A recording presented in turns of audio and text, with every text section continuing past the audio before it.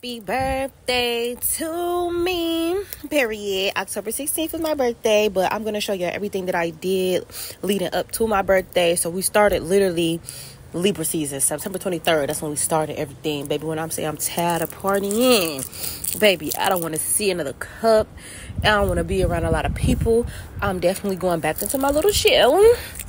I'm going back into my little shell, yeah, because I'm not even a party girl like that. But like I said, it was my birthday, so we had to step for sure. And y'all, that quesadilla, we was on that all motherfucking season. Like, bitch, when I say I was drunk as fuck, G, like, but it was a good drunk. Like, it wasn't, you know, like, oh my God, I'm drunk as hell, I'm stumbling, I don't remember. It was like, okay, I'm lit, I feel it Maybe it wasn't strong enough for me. I don't know, cause I wasn't sloppy drunk off that shit. But yes, people was throwing me money at the club. Like, baby, I was living my best life, fucking these cities up. We had got a 12th floor um, room at the casino. And baby, we was lit. I was at the casino, baby. I was winning.